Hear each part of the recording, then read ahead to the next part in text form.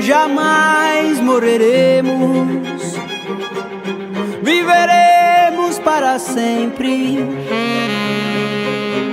Jamais morreremos, viveremos para sempre.